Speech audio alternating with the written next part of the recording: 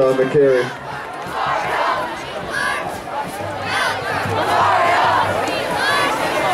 Tackle on the play by Austin Scott. Third down.